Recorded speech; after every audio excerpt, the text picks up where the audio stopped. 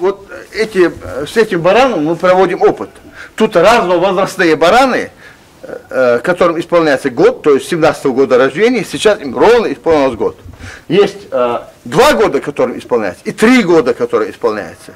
И есть контрольная группа, которая находится среди наших баранов-производителей. Таким образом, здесь проводится опыт под наблюдением наших научных консультантов.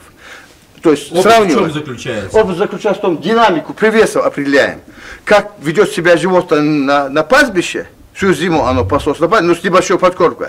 А здесь подкормка волю идет. И они смотрят динамику привесов, роста и так далее. А подкармливаем-то чем? Вот. Кормушка. Значит, вот а, ячмень, волю, сено, волю, и, а, значит, это соль, а здесь такая дробленка. Баран, вот этот э, баран, а ну-ка давай зубы посмотри, Оси, поймай вот это, давай. вот этого барана поймай, вот этого, да. Возьми.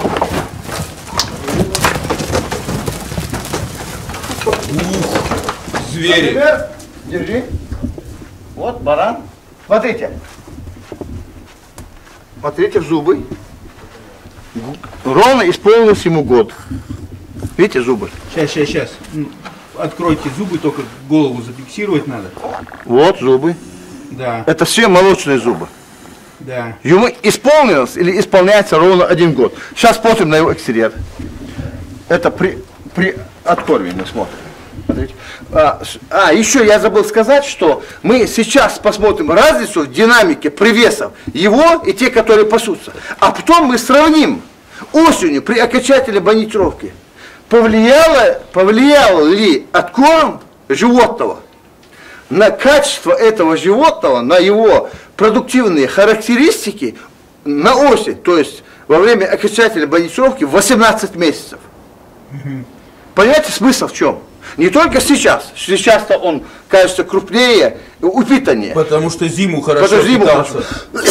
Но мы проверять будем это все. Мы сейчас его выпустим, в мае уже будем выпускать в стадо. Но посмотрим при этом, влияет ли его кормление зимой, усиленное кормление зимой на повышенную продуктивность или равную продуктивность. Влияет ли на продуктивность во взрослом возрасте. То есть во время осени, во время окончательной бонитировки 18 месяцев.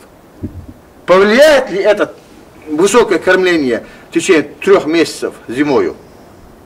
Смысл, понимаете, в чем дело? Да, да, да, я понял, да. Да, я думаю, зрители поймут. Теперь, Иосиф, а ну-ка, вот так встань, с той стороны, голову подними, покажи животное, чтоб видно было. Вот, вот она, годовалая, ровно годовалая. Э, Смотрите, пусть стоит правильно, ноги там и прочее. Вот ему ровно год. А где наша рулетка? Давай. Если его завесить, вот жалко, что листов не взяли.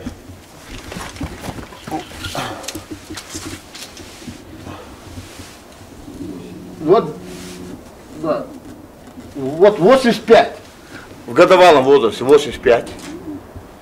Вот. А, кутик давай покажем, какой кутик. Вот, видите? Кутик не сказать, что там большой. Ну, И, а, видите, но самое главное тут глубина туловища. Начинаем вот отсюда, вот до сюда. Вот так вот держи, чтобы видно было животное. Ну Вот это, это, это годовалый баранчик. Вот в прошлом году а, вот этот баран, кстати, вот этот баран, тоже мы его поставили на опыт. А, в прошлом году среди выставочных, вот он выставочный написан, выс- выставочный, чтобы легче было найти в стадии. А, среди выставочных баранов в прошлом году он взял золотую медаль. Но среди ремонтного молодняка, не среди взрослых, а среди молодых. Теперь он уже взрослый баран. А, теперь посмотрим, отойди. Да, попробуй, Не отойди. видно. Не удержишь. Смотрите, смотрите, вот глубина туловища, вот это, и, и когда мне говорят там, вот, гисарского в нем ничего нет. Смотрите, шерсть, видите, какая? Не жесткая шерсть. Грудная клетка не выдается. Кто-то может меня обвинять в том, что я прилил гисарскую кровь и так далее. Но тут опытный человек будет. Прям вперед встань, Иосиф. Ну встань, встань, ничего страшного. Давай. Пусть голову подними. Смотрите, какой экстерьер. В нем, в нем сейчас килограммов, наверное, 140, не меньше. А может и 150, я не знаю. Где-то будет, наверное, да? кило? 45 Вот. А, ну сейчас его, давай, рулетку.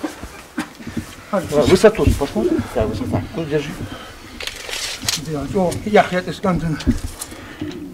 Бачите, а вон. Ай-яй-яй. Здесь он 98, нет, меньше. 96 килограммов. Э, Волки. сантиметров. Да, 96. В холке здесь 95. Всё. Вот. Вот сейчас Ну, можно сказать, выдающийся баран тоже. хорошо Хороший, держит, да. хороший баран. Периодически они завешиваются и завешивается а, контрольная группа из отары, из, из э, отары баранов. И вот из, из опытной группы сравнивается.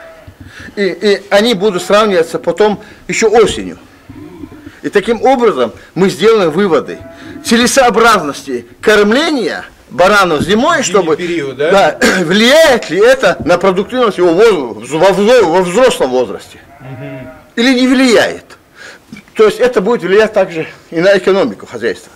Стоит ли тратить корма? Если, например, то, что он похудел зимой, не повлияет на его продуктивность во взрослом, зачем пе- переводить корма? Ну да. Правильно?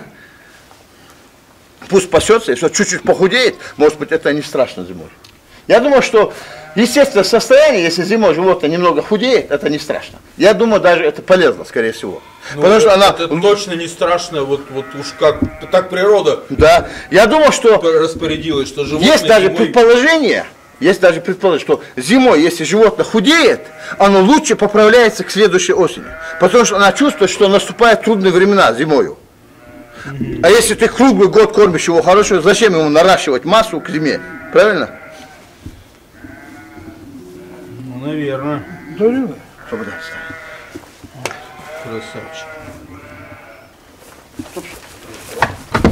Вот он приходится мне прямо до сюда.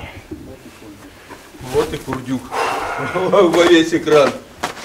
Иосиф, тяжелый баран, Нелегкий. нелегкий. Я сильный, поэтому я его держал.